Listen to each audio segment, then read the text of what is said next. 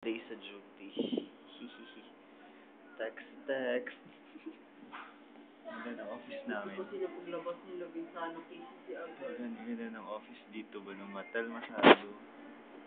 Hello. Tapat ng, ng office namin, bitch. Ayan, bitch. Dagat po yan.